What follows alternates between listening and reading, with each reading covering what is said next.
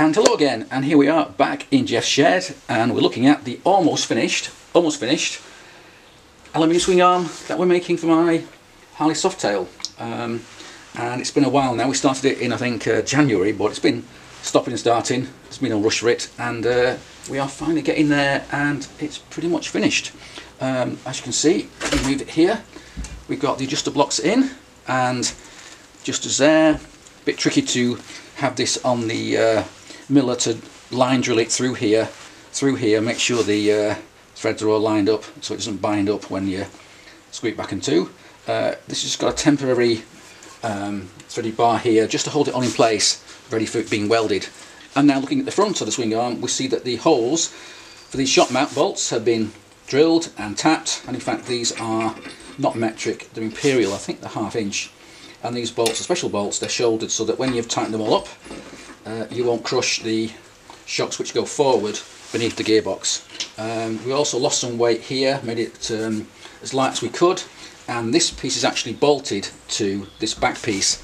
Now on the original version in steel, all this is one big steel piece and you can't um, move it or anything, but we've done it in two pieces so that we can um, shim it and move this, this these bolts backwards and forwards to alter the ride height. So, so what's next is, oh hang on, what, what's next is tea. tea. Tea's just arrived, so so we'll just have a little break while I drink tea and then we'll continue with our discussions about the swing arm. Okay, so just a little quick tea break, and um, yeah, so next step is to get it welded up. And if you remember, we've got these V-grooves added here to help the weld penetrate, to make it look nice, and we're going to weld all the way around here, uh, so that should be fine. And also we're going to weld this base piece here, this cross piece, to these side plates, so it's going to be welded here and here. Um, once that's done, I guess I've got to decide what finish to give this particular swing arm. Shall I polish it? Shall I anodise it? Shall I powder coat it? And at the moment, I don't know. I haven't made up my mind yet. It really depends um, what bag it's going to go on. If it goes on my Merch 131, I may not polish it because it'll be a pain to maintain. I spend enough time as it is polishing that bike and trying to polish the inside of this thing would be a nightmare. So I might go for anodising, hard anodising anyway, and then just leave these adjuster block areas as polished aluminium so you can see it's actually made from um, solid aluminium.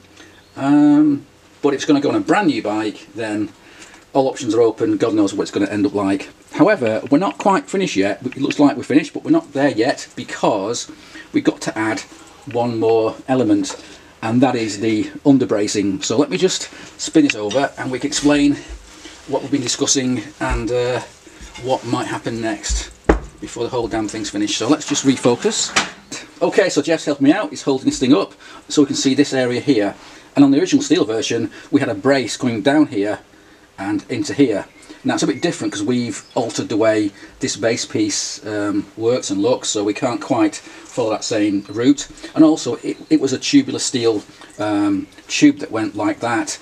Again, that would look stupid on here. We can't do that. So we've been thinking about some options and looking through Jeff's stack of bits and bobs and aluminium bar and whatever. We've scrap. got this, yeah, scrap. Yeah, we've got this piece here which I think is almost, I don't think it's quite an inch Seven, square. eight Seven inch square, it's an yeah. odd size. So it could go, if, if, you, if you imagine this has been um, machined, it, it could be welded something like that. But for me it looks a bit heavy and... Um, I think yeah, it looks ideal. Yeah, but what I want to do is have it something like this kind of width, but a bit narrower. So sure enough, Jeff has found a similar piece. In- this one's a bit... Um, That's inch by half. inch by half, and I think that's a bit better. It looks a bit better, I think. So if you imagine, hopefully you can see this, um, the brace will be something like this, going like that, and then we've got to work out a way of, We need a bend on it. yeah, uh, because it's got to bend in to, to clear the uh, tyre, which is what the original does. So the original, however, bends in a lot more because it attaches to this cross brace here, but we're not going to do that. We're going to um, weld it to this bit here, because all this will be welded up anyway, so it'll be pretty damn solid. well, that's the same gauge as that plate, Yeah, so right. it'd, it'd look, if you could get it to that, yeah, it'd, yeah, look, because then it could come Yeah. down and then we weld it up and look pretty damn cool. it'd look good. So this would need to be angled obviously, something like that, and then it needs to be bent in here. And because it's thinner, it should be easy to bend. I mean, bending that would be Uh, bending almost that, impossible. yeah. But, but but with this, we can get some heat on it Can and uh, bend it, it hopefully. bend it, yeah. yeah. and it shouldn't crack. So that's the current plan. We need two of them, of course. Um, I'm not sure this will be done before we send the whole lot off to be welded. I'm tempted just to get the damn thing welded now, and then we'll work on this next uh, next week, perhaps. Well, Jeff, he's going to have to weld round here before he puts that in Yes, anyway. yeah. So, I think stage one, stage yeah. two. It also means I can uh, get it done quickly because it's less work for Jeff to do. Not this Jeff, the other Jeff. Jeff the welder welder. with a G.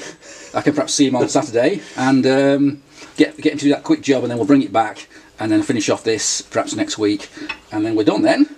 Uh, then after that, I don't know what happens. It'll probably sit on a shelf for six months while I work out whether I want to build a new bike or fit this to uh, my current bike. But overall, we've smoothed this out of the way, so we're not going to scratch anything. Uh, there we- go. I think it's looking pretty damn good. I mean, when we started this, I didn't even think it might work. Um, it's come out. yeah, I've actually just weighed it, and it comes in at um, just shy of 19 pounds, which is a bit more than I thought. But then again, we've also got the weight of this heavy bar here, which is just in for the time being to brace the back end of it before it gets welded. So I think we will lose a pound or two. There's a couple of pounds, like yeah. saying So as I it's a say, stud in. compare that to 34 pounds for the original, and we're looking at half the weight, which is what I wanted Mind to you, do. what we can get off here in Oh, drilling yeah. it, you, Yeah, you'll, yeah. you'll add on in the weld. So yeah, yeah, we're- we, we're- yeah, we will lose a bit here, but the odds of getting it any lighter now Yes. is yeah, yeah. pretty remote. Yeah, yeah. Anyway, it's still it's heavy for a swing arm for the sports bike, but it's bloody light for a swing arm for a Harley Oh, Softail, and that's what I wanted. It's also going to be bloody strong as well. This thing ain't going to bend. Um, so yeah, um, so come back. Hopefully tomorrow or the next day we will have it welded. And in the meantime, we got some tea to drink. So uh, thanks for watching and cheers. Okay, so here we are at Jeff's with a G, not a J. Is it on? And- yeah, yeah. And we've had a slight problem because when you put it on your welding table, which is a flat table, It's a surface en- en- engineered flat, it was rocking. It was rocking, and uh, that means it's not straight and not level. So, bit of a problem there. So what we're doing now is we're just loosening off the bolts which hold it all together. No, no, no, no, they're not supposed to be. And hitting it and basically seeing if we can get it straight.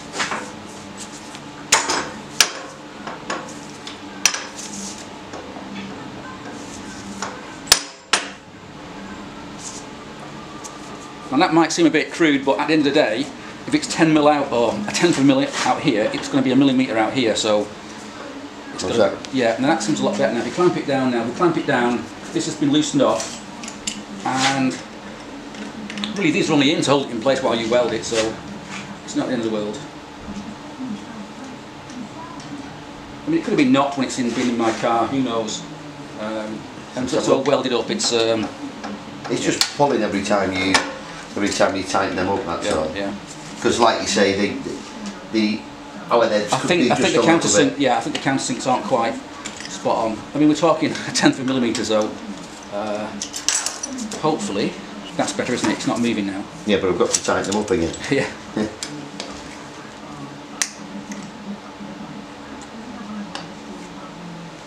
Now the joys of uh, making things. That's a lot, but it was rocking quite a lot before. Let's just turn it over. Yeah.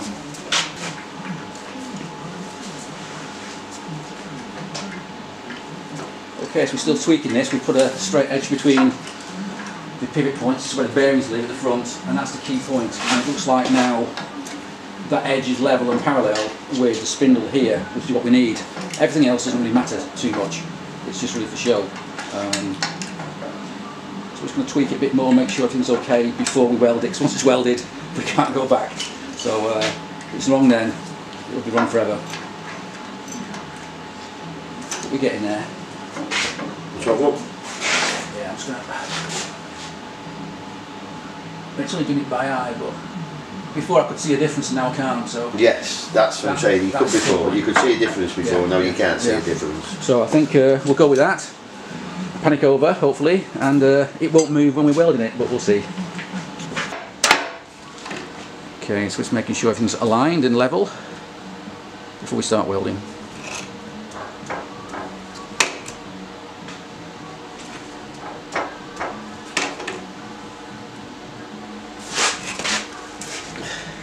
I'm going to put some tack welds on here to stop it from moving. And then, and then we'll do a full weld. Yeah. Okay, great. What we're going to do is a preheat, check, check the moisture. Right, so do preheat. You can see the moisture there now. So Yeah, come now. checking the condense. So we didn't do that, what would happen? Then you get velocity in your weld. Which we don't want. So just taking the chill off it.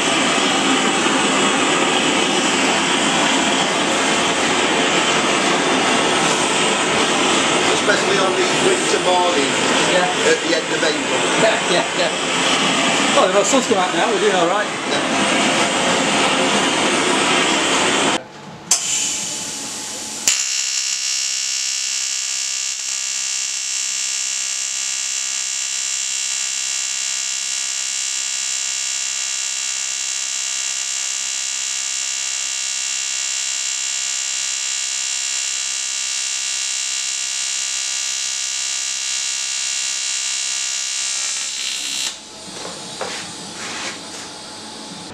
Okay, Jess, that's the first part done. We've welded on this this base piece, and you weld it all the way around. That's great. Next, we've got to weld these arms on, and as you can notice, we've put a groove here for you. We're thinking of you, Jeff. We're thinking of you. V it, yeah, making your life easier as usual. So that's next, I guess. Yeah. Okay. Okay. Okay, so Jeff's now preheating this particular area before he welds it. And the reason for that, Jeff, is what? What's the reason for doing this? We're a preheat. So I can keep the the range down on the the Right. Right. So it's quite a big lump. So So you need, so you need less ampage when it's already hot. Yeah, and, it's always better with a preheat Yeah, yeah, on this sort of material. Yeah. The problem is it's such a big lump of metal, it takes a fair bit of heat to uh, yeah, get warmed going. up. Yeah. Start going. Okay, so I won't film this, it might take another 10 minutes to get this done, so uh, we'll come back when it's done.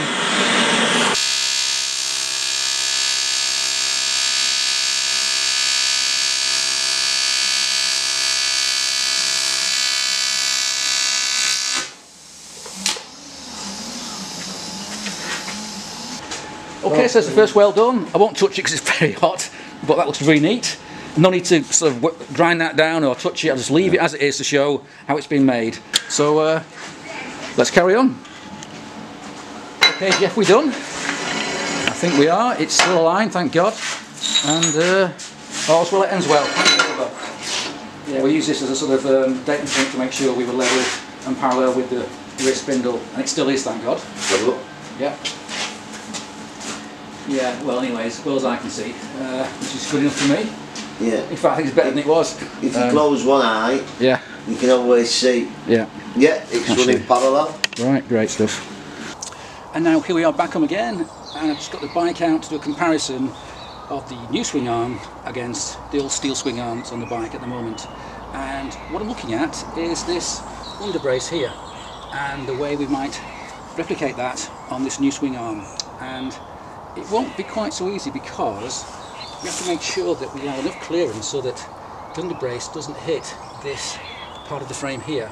Um, when we modified swing arm a few months ago, we had to put a big notch in this um, in this area of the brace here to make sure it doesn't hit the frame. So that's something to bear in mind. And because we've modified the way this base area works, um, we can't quite replicate it the way it's been done on the original steel swing arm. So that's something we need to be wary of. And I think what we'll end up doing is having a sort of S-shaped uh, brace, which comes um, from down here, and it'll have to do a little S shape to um, both come in and also avoid hitting the frame here. So that's something to be wary of and something I need to check on before we actually make and weld in those braces on this new swing arm. That of course assumes that this swing arm is going to be fitted to that bike, which it may or may not do, I'm not sure yet. It may end up um, being used on a brand new project, but we'll see. Yeah, so so far so good. We've still not got to the end yet, but we are getting close. Although I must admit, I did have a bit of panic when it turned out that these two spars weren't quite aligned, they were slightly out. When I brought it to Jeff the welder and he checked out the alignment, but luckily that was just a case of tweaking these bolts to make sure everything was aligned before he welded it up for the final time. Yeah, so I'm pretty happy with that. And that's time I had a done cup of tea. So thanks for watching and cheers.